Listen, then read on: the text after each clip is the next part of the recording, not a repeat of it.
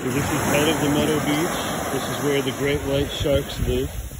And they hunt those seals. You might see a seal poking its head up. But this is the kind of beach that the great white shark